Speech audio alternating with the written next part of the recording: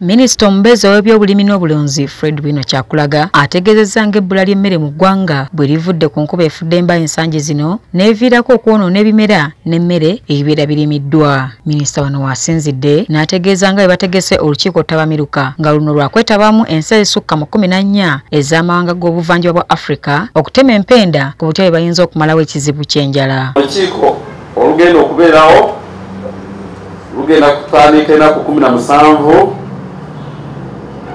si enkya eh? era lujja kuggwa ngaenaku kumi na mwenda olwokutaano mu nsisinkano eno ey'ennaku essatu okuva nga kumi na musanvu omwezi guno okutuuka nga kumi na mwenda minisita kyakulaga ategeezezza ng'ekigendererwa mu kino kwe kulaba nga bazimba omusingi omugumu mu kumalawo enjala mu ggwanga lugenda kubeera n'omulamwa gwa okuzimba omusingi omugumu ogulwanyisa enjala.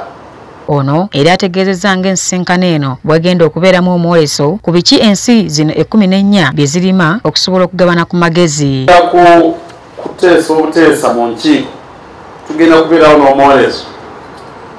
Ensi zino ekkumi n'ennya zijja kuteekawo omwoleso batulage bye balima batulage emmere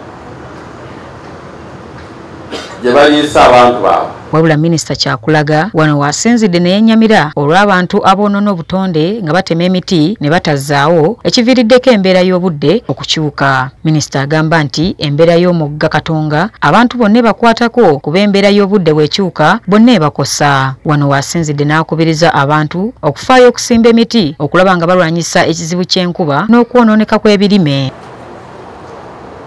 Ku buzibu obwatuuseewo mulwera era ey'obutonde.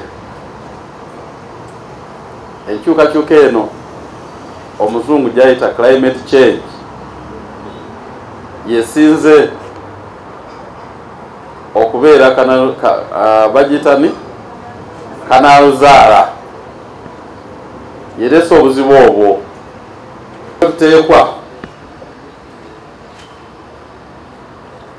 okwananga ensonga eno nga uganda.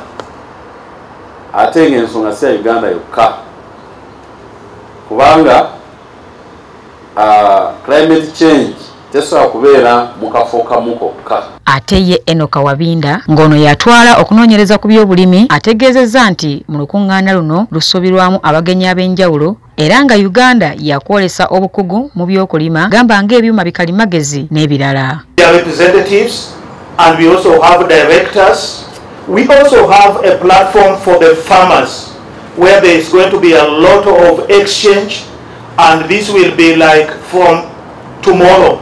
And it will culminate on Friday when the farmers will be exhibiting all that they have been doing. And we have a huge number from Uganda and we still request you to also come and show the rest of the countries Eritrea, Somalia, Madagascar, what Uganda is capable of producing so that we can also share with them. Florence Nabale, Delta TV, Amasokulu.